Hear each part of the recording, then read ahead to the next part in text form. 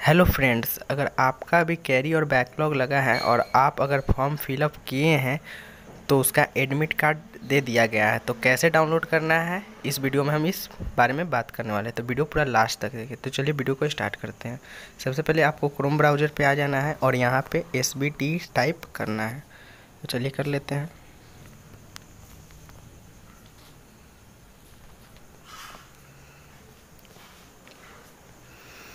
उसके बाद आप ऑफिशियल वेबसाइट पे आ जाएँगे और उसके बाद यहाँ पे आपका यूज़र आईडी और पासवर्ड को टाइप करके साइन इन का बटन पे क्लिक कर देना है। तो चलिए कर लेते हैं।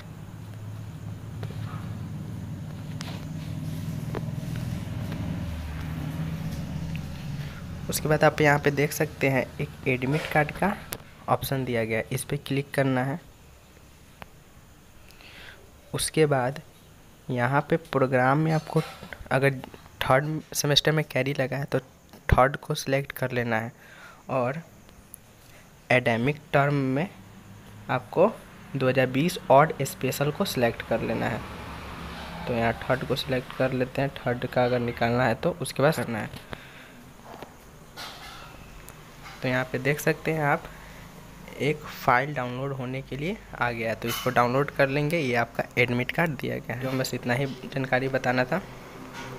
अगर वीडियो अच्छा लगा हो तो लाइक एंड शेयर ज़रूर करें और आप मेरे चैनल पर नए हैं तो चैनल को सब्सक्राइब करके बेल आइकन भी ज़रूर दबा लें, ताकि इसी प्रकार के वीडियो आपको सबसे पहले देखने को मिल जाए। तो मिलते हैं नेक्स्ट वीडियो में। Thank you for watching.